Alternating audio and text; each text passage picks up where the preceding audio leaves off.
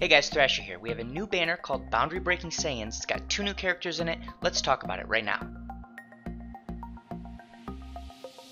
Okay, so first thing we should do is look at the featured characters. Let's go ahead and open this up. And actually, before we before we actually look at these two new featured characters, I want to show you the five sparking that you can actually get. So if we go to Z Power List and we go to Z Power List on the right here, we see these are the five characters that we can get, the five sparkings. They're one percent each.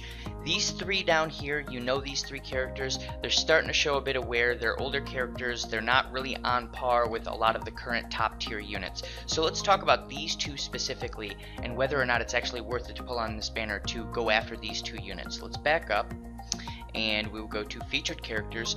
First thing we want to do, look at Super Vegeta. In my opinion, after looking at the stats of both the characters, this is probably the better unit. He has the best blast attack in the game. He's on par with the uh, purple blast Vegeta for his base blast attack stat, but then he's got a bunch of other abilities that massively boost his blast attack. So let's go over here and look at this. Um, if we check out blast attack up, you can see that he gets a massive blast attack boost if you can keep him in for 15 counts. And I'm not going to do a full review of the character right now, but what I want to point out here is that he is by far the highest damage blast character in the game. And the other amazing thing for this unit is that we see here he has a dual ability Z ability. So he's going to increase blast attack for Super Saiyans and he's going to increase crit damage. So we're moving into that area now where as we look at the Super Trunks in a second, a lot of these characters are going to start having dual Z abilities, where it's not just increased blast attack and blast defense, it's increased one main stat, so blast attack, blast defense, strike attack, whatever the main stat is, and then it's also going to increase a secondary stat. So it seems like these characters are going to get a little more dynamic, and we're starting to see the power creep really start to accelerate.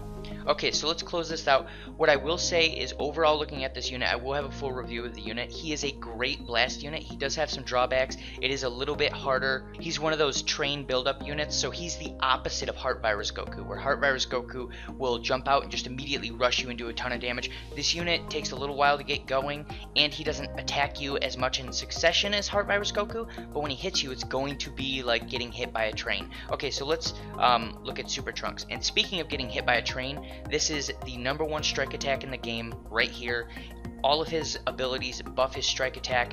I take that back. He doesn't hit like a train. He hits like a nuclear bomb. The problem is it's hard for him to hit you. So let's open him up and look at him real quick. Um, Z ability. This is another dual Z ability like I just talked about. Primary stat strike attack. Secondary stat critical. So it increases your critical chance. Use this along with that other Vegeta and now you're really starting to buff critical and it's going to scale now. So you have an increase in critical chance and you have an increase in critical damage. So that's what we needed for critical to scale. So another thing to look at here, his main ability is insane. He does a ton of strike damage.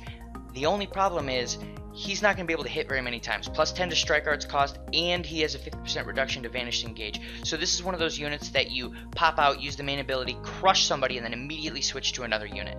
And like I was stating a second ago, uh, the the stat creep is starting to get real.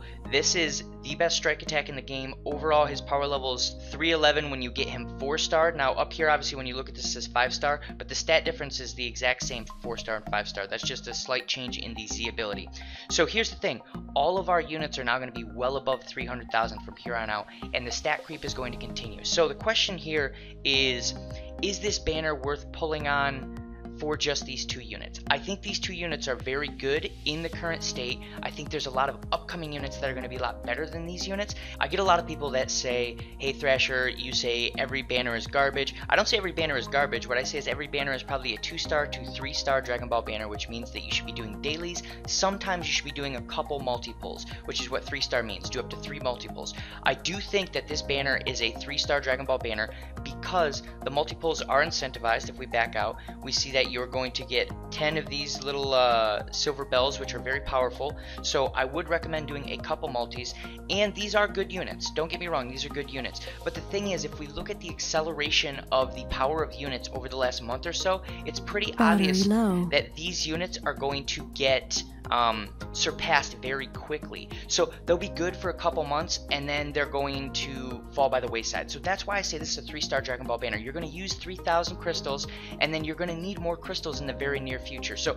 when I'm talking about a banner, I'm looking at the big picture here, not just how good the banner is right now. And that's really all there is to this banner. I would say use one to two uh, multi-summons immediately, do your dailies for a while. Once it gets close to done, if you still don't have who you want, use one more multi just to sort of try to YOLO at it. Um, and I can't recommend doing more than say three multis on this, but the multis are helpful because of the silver bells. But like I said, these are very good units. They're probably at the very bottom of the top tier or the top of mid tier.